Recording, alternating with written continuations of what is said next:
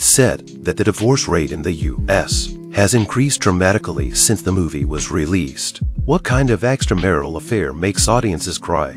Francesca and Michael have been married for almost 20 years and have a son and a daughter. Michael took the kids out for four days to compete. These four days were a rare moment of freedom for Francesca. On the first day, a photographer asked for directions to Roseman Bridge. Francesca kindly told him how to get there. As the road to Roseman Bridge is quite winding, she offered to lead the way when it was difficult to explain in simple terms. They chatted briefly in the car. Robert was from Washington State and had been married before. Francesca was from Bari, a remote town in Italy. Coincidentally, Robert had been to Bari for a photo shoot. Francesca was very excited. It was the first time she'd met anyone from her native land. Robert said he was supposed to be traveling through Bari, but when he saw the amazing view from the window, he got off the train and stayed for a few days.